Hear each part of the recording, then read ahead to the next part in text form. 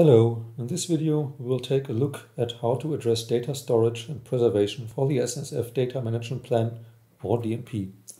My name is Gero Scheuer, I work in Research Data Management Support at the Open Science team at the University of Bern.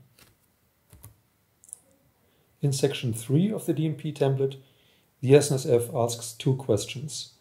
The first one regards storage and backup of data during your research project the second one is about the preservation of your data after the end of the project. These two points must be clearly distinguished. On the one hand, there's the data storage and backup during the project phase. This should be described in DMP section 3.1 if it was not already covered in DMP section 2.2, where you describe the storage of data that needs special protection. Backups, in particular, are an important part of any storage strategy. This includes the frequency of your backups, whether they will be performed manually or automatically, and security measures if applicable. Especially in research groups, it is essential to agree on clear responsibilities for taking backups. So much for storage and backup during your project. On the other hand, there's the preservation after the end of the project which should be described in DMP section 3.2. You should explain if you keep your data beyond the end of the project or if you delete all or part of it. In the latter case, you should describe your selection criteria for the data you want to retain. You also need to determine the file formats for preservation. Open, non-proprietary formats like TXT or CSV are best for preservation as they are most likely to be readable in the future. Furthermore, you should explain for how long you want to keep your data after the project end.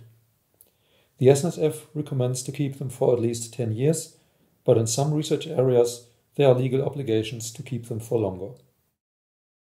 A very important point here is to clarify the responsibility for the data after the project end. This may include tasks like transferring the data to new storage devices, regularly checking the integrity of the data, and deleting the data if applicable.